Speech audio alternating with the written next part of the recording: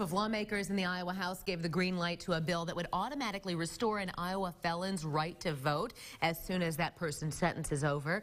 They met today at the State House and heard from advocates and opponents of the bill. Many leaders from all backgrounds say felons should be able to participate in society. Most offenders are going to reenter society, and so we all have a vested interest in these men and women resuming the role of being productive members of society, supporting themselves and their families, finding meaningful work, uh, contributing to their communities.